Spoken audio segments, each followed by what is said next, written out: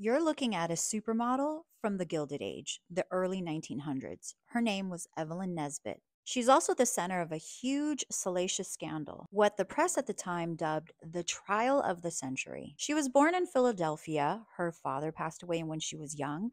Her mother had no money. She couldn't find work. So, what did she do? She made Evelyn become a model and introduced her to men. Everyone thought Evelyn was gorgeous, so she became a very popular model Rich men loved her. The young girl is making money, okay, but she's getting tired of just standing there taking photos. So she tells her mom, you know what? I want to be an actress. After a while, her mom's like, sure, why not? At the age of 15, she meets this guy, Stanford White. He's 48. He's an architect. If you were wealthy in New York's Gilded Age, he was the architect to hire. He designed homes for everyone and he designed the Washington Square Arch, Madison Square Garden. He was wealthy, he was popular, he was well liked.